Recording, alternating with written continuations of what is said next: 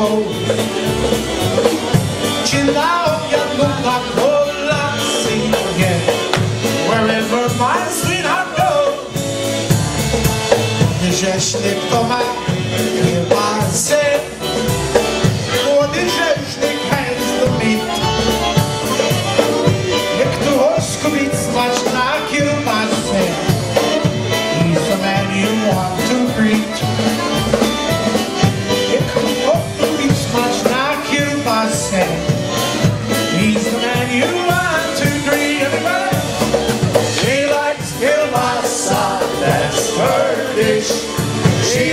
Goodbye.